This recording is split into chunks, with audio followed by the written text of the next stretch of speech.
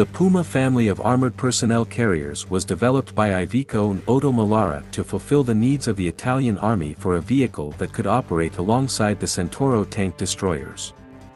At that time, both companies had substantial experience in designing, developing, and producing wheeled armored vehicles.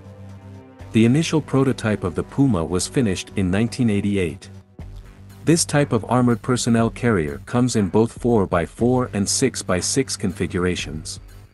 In 1999, the Italian Army awarded a contract for the production of 330 Puma 4x4 and 250 Puma 6x6 armored vehicles, with the first units being completed in 2003. The Puma APC features a welded hull, notable for its whole sides being crafted from single pieces of steel armor instead of welded sections, resulting in enhanced armor resilience. The Puma provides comprehensive protection against small arms fire and artillery shell fragments. It comes equipped with standard NBC protection and automatic fire suppression systems. The Puma armored personnel carrier can be outfitted with either a 7.62 mm or 12.7 mm machine gun, which is mounted on the roof.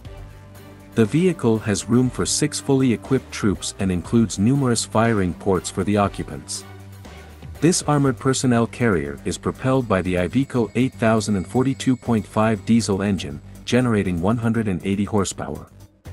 Both the 4x4 and 6x6 variants of the Puma utilize the same automotive components, including the chassis, transmission, and suspension. The vehicle is fitted with run-flat tires. Both versions of the Puma APC can be adapted for a wide array of roles, beyond those initially ordered by the Italian Army, such as NBC reconnaissance and internal security.